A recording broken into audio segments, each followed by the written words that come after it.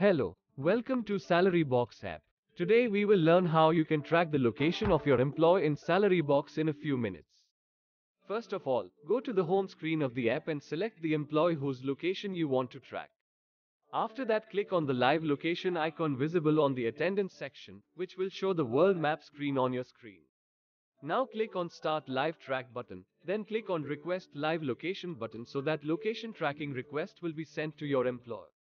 Once your employee accepts your tracking request, your employee's live location will start appearing. To save the location of the employee, click on the History button and click on Download Report, which will give you the location history of the employee. If you want to track the location of your employee without any request, click on the Settings button given on the home screen of Salary Box. After that, by clicking on Attendance and Leaves, you can turn on the option of Auto Live Tracking. Thanks for watching the video. Visit our website for more information.